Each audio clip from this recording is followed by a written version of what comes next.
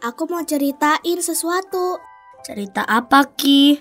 Wah, aku jadi penasaran nih. Kemarin ada teman papaku main ke rumah. Waktu itu, teman papaku itu memperkenalkan diri. Aku kaget loh dengar namanya. Memangnya namanya siapa, Ki? Namanya Om Bandi, sama seperti nama teman kita. Wah, iya, namanya sama ya. Waktu aku tahu namanya, aku takut banget loh. Pikiranku, Om Bandi ini pasti suka bikin masalah seperti Bandi, teman kita. Lalu bagaimana, Ki? Ternyata dugaanku salah di. Om Bandi ini orangnya baik sekali. Papaku juga bilang kalau Om Bandi orang yang sangat jujur dan suka menolong. Namanya sama-sama Bandi, tetapi sifatnya berbeda ya. Iya di, aku merasa bersalah deh.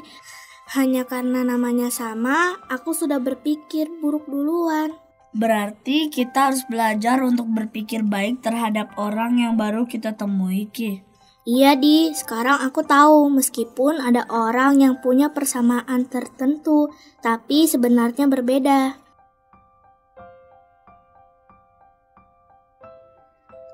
Adik-adik, mari kita membaca Yudas 1 ayat 1. Dari Yudas, hamba Yesus Kristus dan saudara Yakobus, kepada mereka yang terpanggil, yang dikasihi dalam Allah Bapa dan dipelihara untuk Yesus Kristus.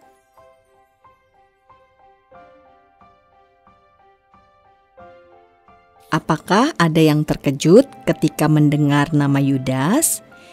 Ya, Namanya sama-sama Yudas, tetapi yang satu mengkhianati Tuhan, sedangkan Yudas yang ini adalah hamba Tuhan Yesus yang sangat mengasihi Tuhan dan umat Tuhan. Adik-adik, di dunia ini ada yang kelihatannya sama, tetapi berbeda. Seperti contoh di atas, sama-sama namanya Yudas, tapi ternyata berbeda. Bisa juga sama-sama orang Jawa atau orang Tionghoa, tetapi sifat dan perilakunya bisa sangat berbeda.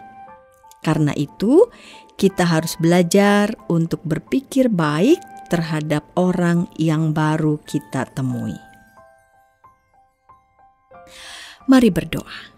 Bapa di surga, tolong aku untuk berpikir baik terhadap semua orang yang aku temui. Dalam nama Tuhan Yesus, aku berdoa. Amin.